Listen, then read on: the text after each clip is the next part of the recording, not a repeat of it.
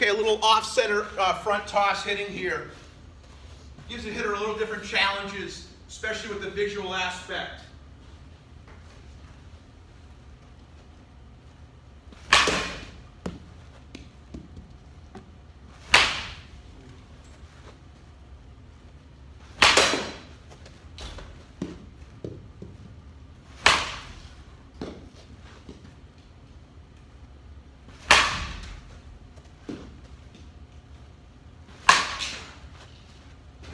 Great job.